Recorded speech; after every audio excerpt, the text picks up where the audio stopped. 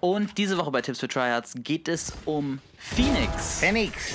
Phoenix Mains kennen das vielleicht, wenn ihr eine Flash um die Ecke werft dann, und der Gegner so ein bisschen auf Zack ist, dann kann er sich oft wegdrehen und die ganz einfach dodgen.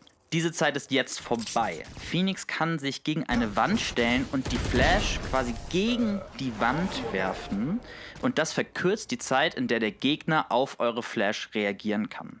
Die Flash landet auch hinter euch, sodass ihr direkt mit der Flash swingen könnt. Braucht ein bisschen Übung, die Effekte sind super, die Gegner sind sauer. Ich Viel bin Spaß sauer. beim Ausprobieren.